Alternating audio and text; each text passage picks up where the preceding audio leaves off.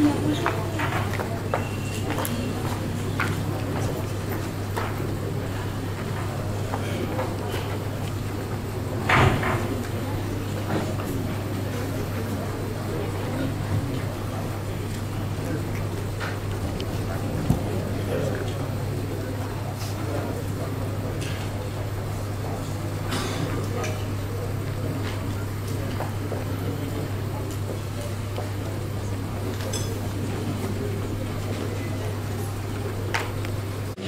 Rasmi kwa ajili ya kufungulia mkutano wetu.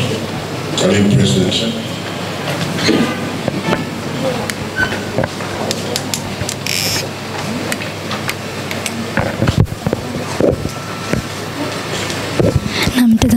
Ayoma Media unashuhudia hapa ah, mkutano mkuu wa kumi na saba uh, wa TFF, mkutano mkuu wa kawaida ambao unakwenda kuanza muda huu, na hapa tuko jijini Mwanza, mkutano huu ambapo unafanyika.